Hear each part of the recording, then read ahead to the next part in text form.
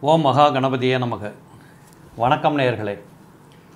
இந்த எபிசோடு மூலமாக நிறைய நேயர்கள் என்னிடம் கேட்டுக்கொண்டதற்கு இணங்க ஒவ்வொரு குறிப்பிட்ட நட்சத்திரத்தில் பிறந்தவர்களுடைய இயல்புகள் நடைமுறை பாவனைகள் எண்ணங்கள் வெளித்தோற்றங்கள் அவருடைய விருப்பங்கள் விருப்பு வெறுப்புகள் என்று சொல்லுகின்ற அனைத்து குண இயல்புகளை பற்றிய ஒரு தொகுப்பாக இந்த ரேவதி நட்சத்திரத்தில் பிறந்தவர்கள் எப்படி இருப்பார்கள் என்று நம்ம இப்போ கொஞ்சம் பார்க்க போகிறோம் அதென்ன சார் ஆரம்பிக்கிற போதே கடைசி நட்சத்திரத்தில் ஆரம்பிக்கிறீங்க முதல்ல இருந்து போகலாமேன்னு நீங்கள் கேட்கலாம்.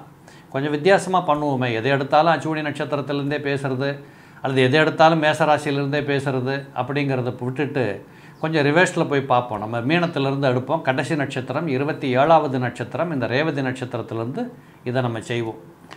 இந்த ரேவதி நட்சத்திரம் என்று சொல்லக்கூடியது இதில் கதைகளில் சொல்லுகிற போது இருபத்தி ஏழாவது நட்சத்திரமாக இந்த ரேவதி நட்சத்திரம் பிறந்த பிற்பாடு தான் குசேலர் கிருஷ்ண பரமாத்மாவை சந்திக்கக்கூடிய வாய்ப்புகள் கிடைத்ததாகவும் அதற்கு பின்னாடி தான் இவருடைய வறுமை தீர்ந்ததாகவும் ஒரு கதை சொல்கிறது ஒரு பழக்கத்தில் உண்டு. அப்போ என்ன மீனிங்கில் அந்த கதையை சொல்லியிருக்கிறாங்கன்னு கேட்டிங்கன்னா ஒரு கஷ்டப்படுகின்ற குடும்பத்தில் ரொம்ப தடுமாற்றத்தில் இருக்கக்கூடிய கிராமப்புறங்களாகட்டும் விளிம்பு நிலையில் வாழக்கூடிய மக்களாகட்டும் இப்படிப்பட்ட நிலைகளில் வாழ்ந்து கொண்டு தடுமாறி கொண்டிருக்கக்கூடிய ஒரு குடும்பத்திலே ரேவதி நட்சத்திரத்திலே ஒரு குழந்தை பிறக்குமானால் அது அந்த குடும்பத்தின் விடியலை நோக்கிய பயணத்தை சுட்டிக்காட்டும் என்று சொல்லுகின்ற நியதிகள் இதில் சொல்லப்படுறத நம்ம பார்க்கலாம். அதுபோல் ஜாதகத்தில் என்ன ரேவதி நட்சத்திரம் எப்படி சொல்கிறதுன்னு கேட்டிங்கன்னா மீனராசி. இந்த மீனராசி என்று சொல்லக்கூடியது ஜலராசியாக இருக்கக்கூடிய ஒரு இடம்.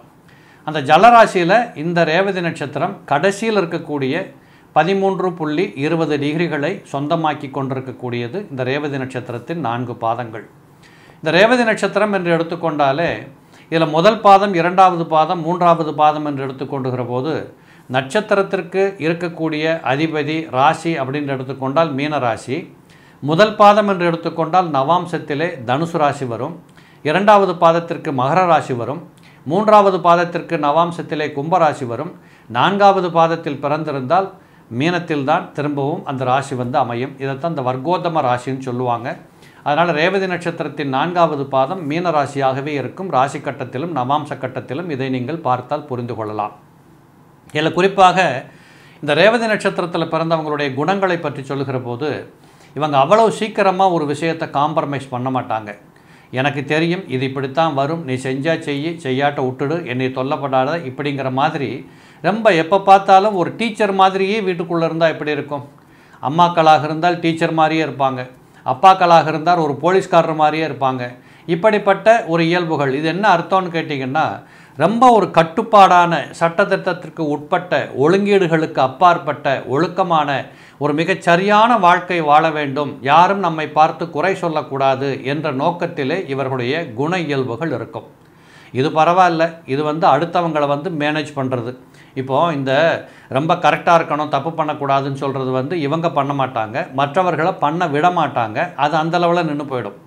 இன்னும் சில குணங்கள் உண்டு என்னென்னு கேட்டிங்கன்னா இந்த வீட்டை சுத்தப்படுத்துறது துணிமணியை மடித்து வைக்கிறது இது இப்படித்தான் இந்த துணியை அழுக்கு துணியை போடணும் இப்படித்தான் இந்த செருப்பு கழட்டி இங்கே விடணும் அப்படின்னு ஒரு சில சித்தாந்தம் இருக்குது பார்த்தீங்களா அப்போ வீடுன்னு எடுத்துக்கிட்டால் அது ஒன்றும் ஃபைவ் ஸ்டார் ஹோட்டல் இல்லை.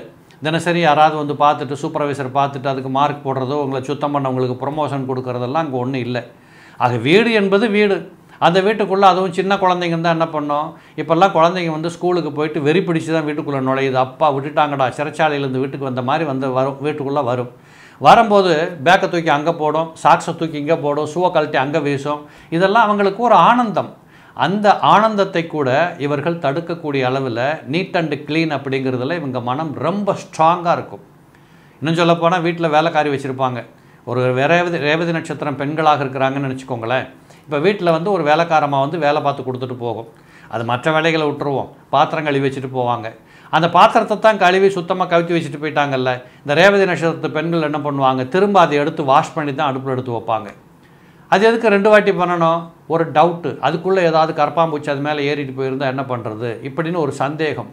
இப்படியெல்லாம் இந்த சுத்தபத்தம் பார்க்குறதுல இந்த ரேவதி நட்சத்திரம் வந்து ஒரு டாப் அதை இருக்கிறதுலையே ரொம்ப மோஸ்ட் அட்வான்ஸ்டுன்னு வச்சுக்கலாம். சரி இது ஒரு பக்கம் இருக்கட்டும். இன்னும் சொல்லப்போனால் நேரத்துக்கு சாப்பிட்றதில்லை. நேரம் கழிஞ்சு தான் அவங்க சாப்பிடுவாங்க. அடிக்கடி டீ குடிக்கிறவங்க அடிக்கடி தண்ணி குடிக்கிறவங்க வேணும்னே எதையோ ஒன்று பண்ணிக்கிட்டு இருந்துட்டு நேரத்துக்கு சாப்பிட முடியாமல் போகிறது காலை சாப்பாடு பதினோரு மணிக்கு மதிய சாப்பாடு மூணு மணிக்கு நைட் சாப்பாடு பத்தரை மணிக்கு அப்போ எத்தனை மணிக்கு தூங்குறது தூங்க போனால் தூக்கம் வர்றதில்ல. பெரும்பாலும் ரேவதி நட்சத்திரத்தில் பிறந்தவர்களுக்கு ரா தூக்கம் ரொம்ப டிஸ்டர்ப் ஆகும். அப்போ நீங்கள் என்ன பண்ணணும்னு கேட்டிங்கன்னா தயவு செய்து உங்களுடைய பகல் பணிகளை எல்லாம் ஒழுங்காக செஞ்சு முடிச்சுட்டு மற்றவங்களுக்கு எவ்வளவு அட்வைஸ் பண்ணுறீங்கள இப்படியெல்லாம் இருக்கணும்ன்ட்டு அந்த இடத்துல நீங்களும் உங்களை வந்து இந்த நேரத்துக்கு சாப்பிட்றது நைட்டில் சீக்கிரமாக படுக்கிறது நிம்மதியை தூங்குறது இவைகளையெல்லாம் புறந்தள்ளி விட்டு வாழ கற்றுக்கொண்டீர்களானால் ஆண்களாக இருந்தாலும் பெண்களாக இருந்தாலும் ஒரு ஐம்பது வயதுகளை நீங்கள் தாண்டுகிற போது வாத வியாதிகள் என்று சொல்லக்கூடிய அனைத்தும் உங்களுக்கு வரும். அப்போ இந்த வாத வியாதிகள்னு என்ன? கால் வர மாட்டாங்குது கை வரல நரம்பு வலிக்குது இடுப்புலேருந்து போகிற நரம்பு எங்கேயோ பிடிச்சிக்கிட்டு இழுக்குது இப்படின்னு சொல்லக்கூடிய பெண்கள் நிறைய பேரை ரேவதி நட்சத்திரத்தில் பார்க்கலாம். அது மட்டும் இல்லை இந்த ரேவதி நட்சத்திரத்தில் பிறந்தவர்கள் ரொம்ப ஹை எமோஷனல் மென்டாலிட்டி இருக்கும். எந்த ஒரு விஷயத்தையும் தாங்கி கொள்ளுகின்ற அட்ஜஸ்ட் பண்ணி கொள்ளுகின்ற மறக்கின்ற குணங்கள் இருக்காது. இப்படியெல்லாம் சொல்லிட்டாங்களே என்னை போய் இப்படி சொல்லிட்டாங்களே என்னை இப்படி பேசுகிறாங்களே இப்படி என்று ஒரு ஹை உச்சஸ்தானத்தில் உட்கார்ந்து ஒவ்வொரு மேட்டரையும் டீல் பண்ணக்கூடியவங்களாக இருப்பாங்க. அப்போ என்ன ஆகுன்னு கேட்டிங்கன்னா இவங்க பாருங்கள் ஆரம்பத்துலேருந்து சொல்கிறத பாருங்கள் நீட் அண்டு க்ளீனாக இருக்கணும். ரொம்ப ஒழுங்கு பழக்க வழக்கமாக இருக்கணும். யாரும் என்னை பற்றி ஒன்றும் பேசக்கூடாது. எல்லாரும் என்னமோ என்னை தப்பாக நினைக்கிறாங்க. இப்படி உடலையும் வருத்தி கொண்டு உள்ளத்தையும் வருத்தி கொண்டு வாழுகின்ற இந்த அமைப்புகள் இருக்கின்ற காரணத்தால் உடல் சீக்கிரம் பலவீனப்பட்டு போகும். அப்போ அந்த பலவீனப்படுகிற போது என்ன செய்யும்?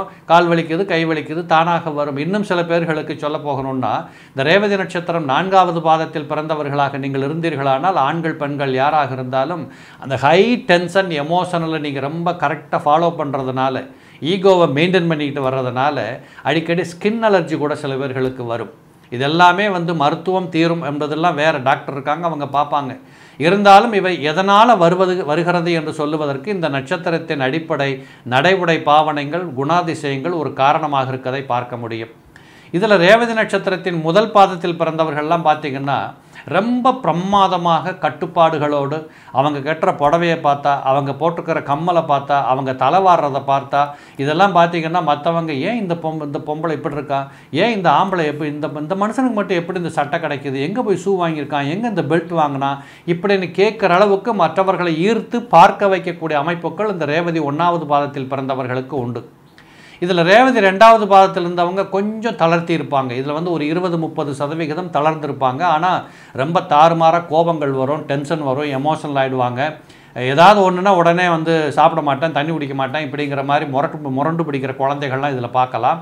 அதனால் ரேவதி மூன்றாவது பாதத்தில் பிறந்தவர்கள் என்னன்னு கேட்டிங்கன்னா இந்த ராத்தூக்கம் தொலைக்கிறதுல இவங்க தான் நம்பர் ஒன்று பகலில் தூங்குறது இல்லாட்ட லேட்டாக காலையில் எந்திரிக்கிறது சில குடும்பங்களில் பார்த்தீங்கன்னா இந்த பெண்கள் காலையில் அஞ்சரை மணிக்கு ஆறு மணிக்கு எந்திரிக்க முடியாமல் ஏழு மணி ஏழரை மணி வரை தூங்கினா அந்த குழந்தைங்களை அந்த கு- குடும்பத்தில் குழந்தைங்க எப்படி ஸ்கூலுக்கு போகும்? அரியும் பெரியமாக எந்திரிச்சு அவசரத்துக்கு ஒன்று செஞ்சு கொடுத்து அவங்கள துரத்தி இப்படிப்பட்ட டென்ஷன் வருவதற்கு ரேவதி மூன்றாவது பாதத்தில் பிறந்தவர்களுக்கு இப்படிப்பட்ட அமைப்புகள் வரும். இதே ரேவதி நாலாவது பாதத்தில் பிறந்தவர்கள் எப்படி இருப்பாங்கன்னு கேட்டிங்கன்னா ரொம்ப பஞ்சுவாலிட்டி ரொம்ப தீர்க்க தரிசிகள் இவர்களுக்கு தான் தெரியும். நாளை கழித்து காஞ்சிபுரத்தில் மழை பெய்யும் இன்றைக்கி அவங்களுக்கு உடம்புல புல்லரிக்கும். நான் எக்ஸாம்பிளாக சொல்கிறேன் இப்படிப்பட்ட எண்ணப்பாடுகள் எல்லாம் இவங்களுக்கு தோன்றுவதை நீங்கள் பார்க்கலாம். ஆக இந்த நான்கு நட்சத்திரங்களில் பிறந்தவர்களுக்கும் ரேவதி நட்சத்திரம்னு எடுத்துக்கிட்டாலே ரேவதி நட்சத்திரத்தின் அதிபதி புதனாக இருக்கிறார். இந்த அதிபதி புதனாக இருக்கிறதுனால இந்த கணவன் மனைவி குடும்ப உறவுகள் அப்படின்னு எடுத்துக்கிட்டிங்கன்னா அநேக இடங்களில் பார்த்தீங்கன்னா கொஞ்சம் கருத்து பேதங்கள் கருத்து வேற்றுமைகள் வருவதற்கு நிறைய வாய்ப்புகள் உண்டு. இதை வந்து கரெக்டாக சொல்லணும்னா ரேவதி நட்சத்திரத்தில் பிறந்தவங்களுக்கு கல்யாணம் பண்ணுகிற போது கொஞ்சம் அதிகமாகவே நல்லபடியாக பொருத்தம் பார்த்து திருமணம் செய்து கொள்வது என்பது ரொம்ப தேவைப்படுகின்ற ஒரு விஷயம். அதே போல் ரேவதி நட்சத்திரத்தில் பிறந்திருக்கக்கூடிய இளம் பிள்ளைகளை இந்த டான்ஸ் கிளாஸுக்கு அனுப்புறது மியூசிக் கிளாஸுக்கு அனுப்புறது கொஞ்சம் ஏதாவது கற்றுக்கொள்வது இப்படிப்பட்ட துறைகள் இப்படிப்பட்ட அனுபவம் அதெல்லாம் செஞ்சு கொடுத்தீங்கன்னா அந்த குழந்தைங்க நல்லா கற்றுக்கும் ஏன்னா இவங்களுக்கெல்லாம் இசைப்பிரியம் நல்லா வரும் டெய்லரிங் நல்லா வரும். அதாவது மொத்தத்துக்கு சொல்ல போகணுன்னா கொஞ்சம் ஒரு ஆர்டிஸ்டிக் நேச்சரோட வாழுகின்ற அந்த தன்மைகள். ரொம்ப படிச்சிருக்கிறவங்க பாருங்கள் ஆர்கிடெக்டாக போய் ரொம்ப சைன் பண்ணலாம். இப்படிப்பட்ட ஓவியர்களாக இருக்கலாம். ஆக அந்த புதனுடைய அம்சமாக இருக்கிறதுனால எதையுமே புத்தியை கொண்டு தீர்மானிக்கக்கூடியவர்களாக சென்டிமெண்ட்டுக்கு போகாதவங்களாக மற்றவர்கள் சொல்லுவதை நம்பாதவர்களாக இப்படிப்பட்ட தன்மைகள் எல்லாம் இந்த ரேவதி நட்சத்திரத்தில் பிறந்தவர்களுக்கு இருக்கிறத நீங்கள் பார்க்க முடியும். இந்த ரேவதி நட்சத்திரத்தில் பிறந்துட்டாலே ஆரம்ப காலம் என்பது புதன் தசை தான் நடக்கும். இதில் ரேவதி ஒன்றாவது பாதத்தில் பிறந்தால் குறைஞ்சது அதிகபட்சம் ஒரு பதினேழு வருஷம். இல்லை ஒரு பதினாலு பதினஞ்சு வருஷம் இவங்களுக்கெல்லாம் வந்து அந்த க- க- அந்த ஆரம்ப காலகட்டம் என்பது புதன் தசை நடக்கும். ரேவதி இரண்டாவது பாகத்தில் பிறந்தாலும் புதன் தசை நடக்கும். கிட்டத்தட்ட அதிகபட்சம் பார்த்தீங்கன்னா ஒரு நாலு வருஷத்தை கழிச்சுக்கிட்டிங்கனாலும் கூட ஒரு பதிமூணு வருஷம் பன்னெண்டரை வருஷம் அதிகபட்சம் இவங்களுக்கு புதன் தசை இருக்கும்.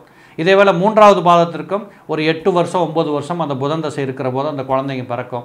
நாலாவது பாதத்தில் பார்த்தீங்கன்னா ஒரு நாலு வயசுலேருந்து நாலு வயசு குழந்தை வரைக்கும் அல்லது குழந்தை பிறந்து ஒரு ஆறு மாதத்தில் புதன் தசை முடியுது. இப்படிங்கிற மாதிரி நோக்கத்தில் இவங்களுக்கெல்லாம் வந்து அந்த ஜாதகத்தின் அடிப்படையில் திசைகள் வரக்கூடியதாக இருக்கும். இந்த ரேவதி நட்சத்திரத்தில் பிறக்கிறவங்க தான் கட்டாயமாக சுக்கர தசையை மீட் பண்ணக்கூடியவங்களாக இருப்பாங்க.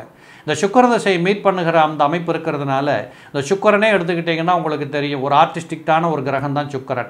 ஒரு நீட் அண்டு க்ளீனாக இருக்கிறது எல்லா விதமான ஆர்ட் சம்மந்தப்பட்டதை தெரிஞ்சுக்கிறது தானா தானாக இண்டிவிஜுவலாக இண்டிபெண்ட்டாக வாழ்கிறது இப்படிப்பட்ட அமைப்புகள் எல்லாம் அந்த சுக்கரன் சம்மந்தப்பட்டதாக இருக்கிறதுனால அநேகமாக இந்த சுக்கர திசை என்பது இந்த குழந்தைகளுக்கெல்லாம் பார்த்தீங்கன்னா குறைஞ்சது இருபத்தி ஏழு வயசுலேருந்து நாற்பது வயசு.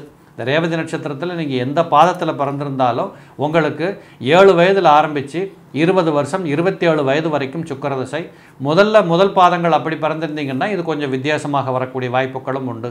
ஆக இந்த ரேவதி நட்சத்திரத்தில் பிறந்தவர்கள் திருமணம் செய்கின்ற போது கவனிக்கப்பட வேண்டியது என்னன்னு கேட்டிங்கன்னா நீங்கள் தவிர்க்க வேண்டிய நட்சத்திரங்களாக அச்சுவினி மகம் மூலம் கேட்டை ரேவதி ஆயில்யம் இந்த நட்சத்திரத்தில் பிறந்தவர்களை திருமணம் செய்யாமல் தவிர்ப்பது என்பது மிகப்பெரிய சிறப்பை கொடுக்கும். இப்படியான நிறைய விஷயங்களை ரேவதி நட்சத்திரத்தில் பிறந்தவங்ககிட்ட கேட்கலாம். நேயர்களை இவைகளெல்லாம் பார்த்து மகிழுங்கள். மீண்டும் நாம் அடுத்து ஒவ்வொரு நட்சத்திரங்களாக வரக்கூடிய தகவலை பற்றி பார்ப்போம். நன்றி கூறி விடைபெறுகிறேன். நன்றி. வணக்கம்.